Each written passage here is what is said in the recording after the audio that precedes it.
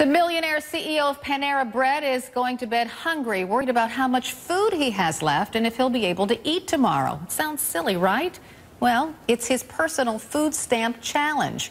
Ron Shaich is living on only $4.50 a day and documenting it all on his LinkedIn blog. He's inspired by disturbing numbers, like the report this week showing 46.5 million Americans are in poverty. That's 15% of our population. And about 48 million people are currently using food stamps to survive.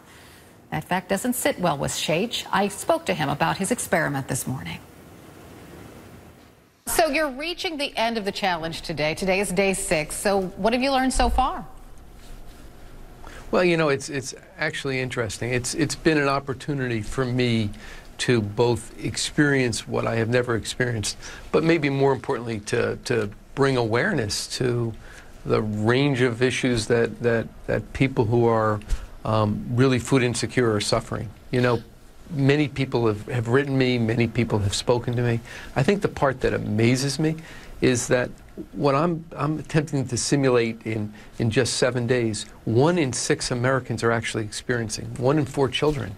And we're talking about 48 million Americans that at points during the last year didn't know where their next meal was coming from. And your blog is really interesting. I've read it. On day four, for example, you wrote on your blog um, describing how you felt. You said, I can't stop thinking about food. Each night when I go to bed, I'm engulfed yeah. by a sick feeling that comes from eating too many carbs. And I felt so much anxiety about the possibility of running out of pasta. Um, so, as you said, this really does change your outlook about what a family goes through when it's forced to live on food stamps. Yeah, well, the reality, you know, in just as this last six days I've experienced is food become, begins to dominate your life. You know, I mean, to, to, to be able to do this, you have to be very planful. When I went to the supermarket on the very first day to buy it, you know, I had to figure out what I was going to buy for the entire week. And certain meals I made had to take me for two or three days. And I can remember I, I actually um, picked out a number of things, put it in my basket, and I went up to the checkout counter and the reality was, Carol, I um, had put too many things in my basket. I had to return certain things because they because uh, the checkout was was more than my $25 that I wanted to spend at that point. And, and each day I've been trying to figure out how do I make sure I have enough to the end of the week. I run a restaurant company. I've, we have 1,800 restaurants across America.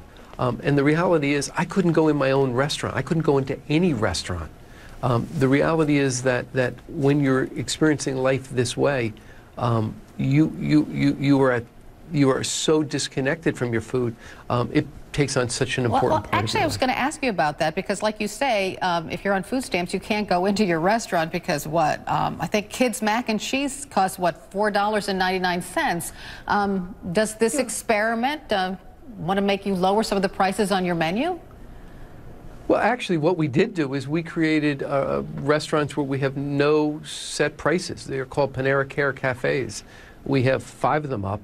We'll serve over a million people this year in these cafes. And the intention of them is to provide a, a, an opportunity to feed people with dignity who have the need.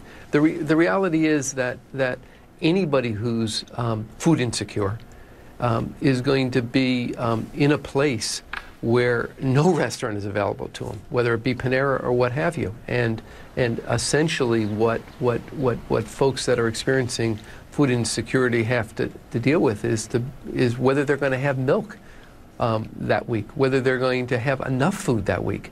And so to us, a, a, a, restaurant experience and having somebody else cook for you mm-hmm. is, is, is quite honestly well beyond what we're talking about here. I have to get into the politics of this issue, and I'm sure that you're, you're familiar sure. with the politics of this issue. Congress, as you know, is expected to meet this week on a food stamps reform plan pushed by Republicans. It could cut, it could cut 6 million people from the program. Um, do you think people have become dependent on food stamps and the government is simply enabling them? Well, I think we have to ask ourselves a question. And the question we have to ask as society is what kind of society we want.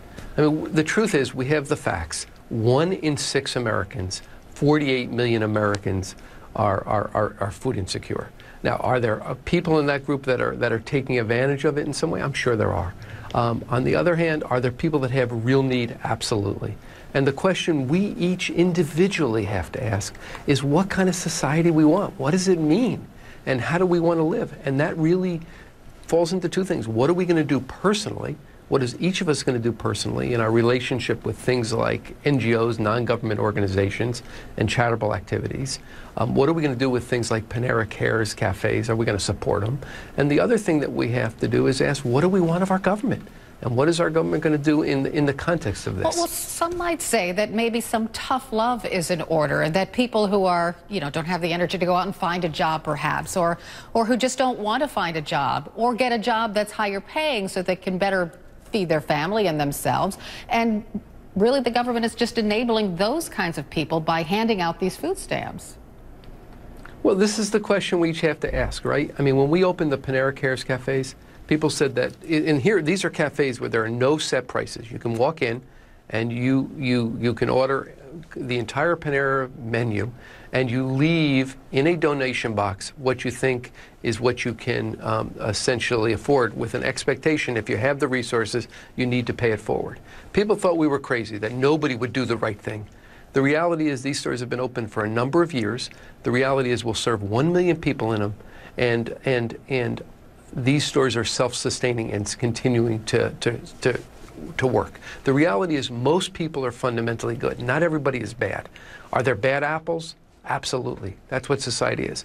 But when we have 48 million Americans that are food insecure, we've got to ask ourselves, is the problem that these individuals are all trying to game the system, or is there a real problem that we want to deal with as a society? Thank you so much for joining us today. We appreciate it. Thank you, Carol.